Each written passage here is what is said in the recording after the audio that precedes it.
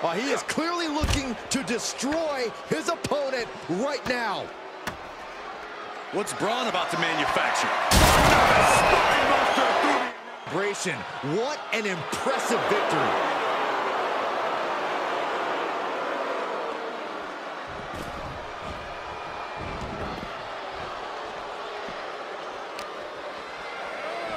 And now thrown back into the ring.